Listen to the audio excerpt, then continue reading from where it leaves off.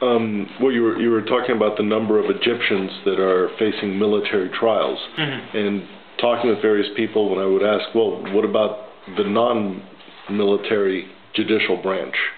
Um, how independent are they within the current environment? Uh, people tended to invest a lot in them in terms of observing the elections.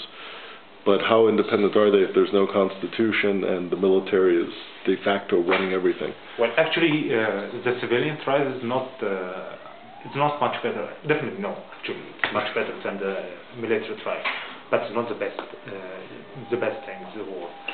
Uh, for instance, that you have the right to appeal, actually, uh, and your trial will not uh, last for maybe two hours and then have a verdict for three or five years uh, in jail. So, military trials actually from my perspective they don't understand the law they don't know the law actually they the according to the law they uh, uh, stated that they have be uh, carry a law degree. And yes they could carry a law degree but they don't have any uh, any idea about the law the criminal uh, the procedures of the criminal law or anything.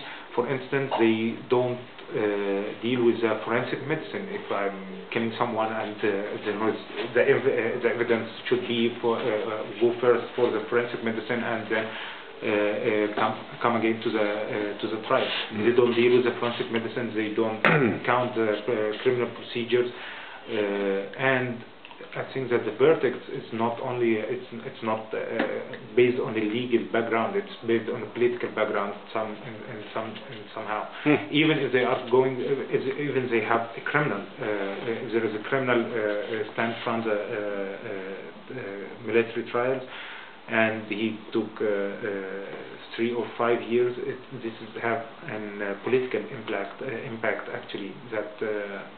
Uh, يعني عايز يخوف الناس يقول لهم to, to threat the other criminals not to do crimes or not to commit any crimes.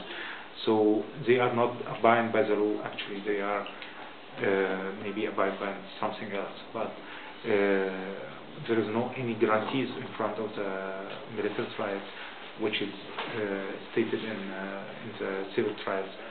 So uh, actually they are officers and they taking orders from an officer who is ranked higher than them. So uh, they are not independent at all actually. I'd like to ask a question to you. Is it uh, normal that in the United States somebody who is civilian can be dragged to a military trial? Now they can, thanks to the reforms during the Bush era. Okay. I just asked because in Germany we have no military,